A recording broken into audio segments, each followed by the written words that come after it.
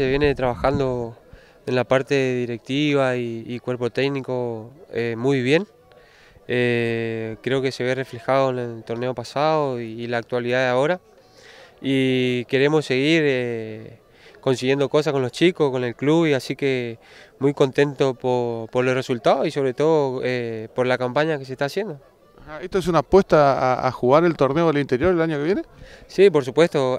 justamente ayer estábamos hablando con un colega tuyo y, y nos quedó la espina del, federal, que, teníamos un plantel, digamos que eh, creciendo y, por ahí si nos tocaba en este momento, creo que iba a ser distinta la historia y, nos tocó quedar afuera con, con Timbó y creo que por ahí eso fue la, o sea, en el sentido por ahí negativo, ¿no es cierto?, de ese torneo, así que tenemos las ganas de, volver a participar y, y cambiar esa historia negativa, ¿no?